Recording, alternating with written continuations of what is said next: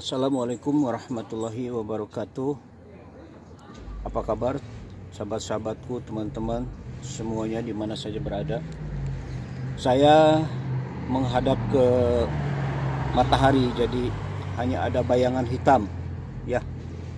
Saya akan ajak teman-teman uh, berputar-putar melihat mural ya. Mural semua sudah tahu apa artinya.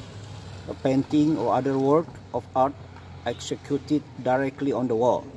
Saya akan bawa jalan-jalan uh, melihat mural di sekitar Los Angeles, California.